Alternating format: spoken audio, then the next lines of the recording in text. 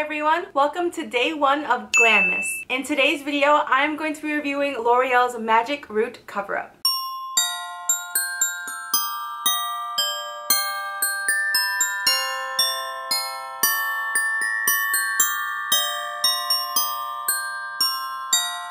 you're new to this channel, hi, my name is Giselle. I also go by Stinkface Glam. I cover a bunch of lifestyle topics on my channel. I've been showing you my hair journey along the way. If you haven't seen any of my previous videos, I'll leave my hair journey videos linked up above as well as down below. And I've been doing this cover up thinning hair series for a few months now with different products. So I also will leave those videos links down below and in the cards above as well. In this cover up thinning hair series, I try out products that I found on the internet or that you've recommended to me to help cover up my sparse areas and bald spots. I am suffering from hair loss and hair thinning, so I am trying out whatever products I can to temporarily cover them until I can find out a permanent solution to help my hair. In this video, I am trying out L'Oreal's Magic Root Cover Up in the shade Black. If you want to be a part of the video, you have to help mommy and you have to look that way. Vegas wants to make another appearance, but he's a little camera shy today. I start off by reading the instructions on the back of the packaging. It does say to cover your shoulders with a towel, shake well. I didn't cover my shoulders because I had on a t-shirt that I really didn't care if it got messed up. Spray on dry hair about 6 inches from regrowth using light, steady pressure to blend in the color. Let it dry for one minute and it should be done. So as you can see in the try-on, I did apply it according to the instructions on the box. I will say if you are not careful, you can definitely definitely spray a lot in one area. My advice is to constantly move your hand as you are applying it so that you don't apply a big chunk of product in one specific area. I will give it a 4 out of 5 as far as ease of application goes, but I will say that it can easily become a 3 out of 5. I also experienced that stiff hair feeling that I did feel with a couple of other products that I've tried before, which I'm not really crazy about. I really want my hair to feel normal instead of feeling like it actually has product in it, so that was kind of a turn off for me. As I was separating my hair with my hands. I did get the product on my hands, but it did say to wait a minute for it to dry down, so that was to be expected. The product also did get on my face, even though I tried to cover my face with my hand, but it was easy enough to get it off with soap and water. So this is what my hair looked like before I filled it in, and this is what my hair looked like after I filled it in.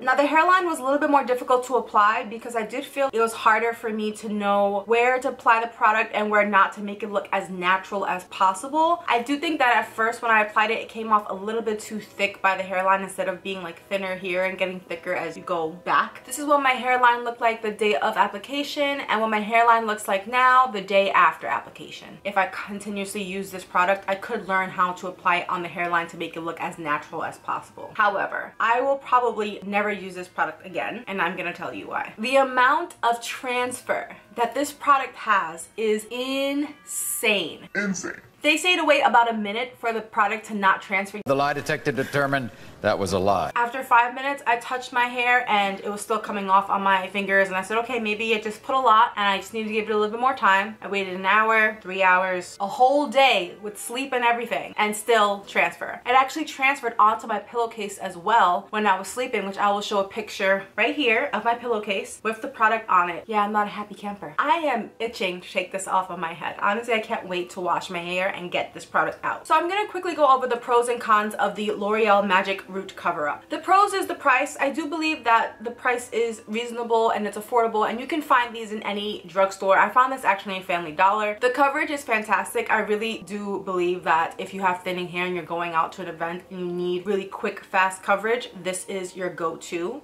They also have various colors. I do think they could work on the shade range. For the most part, their colors will color match majority of hair colors. I'm gonna say a con is the application process process, even though I said it was easy, I can see how it can be rather difficult for people because of how fast and how much product comes out at once when you do spray. I also cannot, cannot, cannot stand the transfer. When you sweat, it will drip down. If you brush your hair, it will literally go onto your skin. If you put your head somewhere, like on a pillowcase, it will transfer. Yesterday, I put my hand like this on my head, just laying down, nothing crazy, didn't move it, just put my head like this, and then I moved it and Right now you can tell a little bit's here, but I'll show you a picture right here of what it looked like yesterday. All the other products I've tried in this series have never transferred as bad as this one. It's not sweat proof, it never dries down, it makes your hair feel stiff. I'm really just not a fan of this product. So there you have it. That is my review of the L'Oreal Magic Root Cover Up in the color black. If you subscribe to my channel and hit the bell next door, you'll be notified when I drop my next video. For the month of December, I'm going to be doing a Glam-Mas special, which I will be filming 12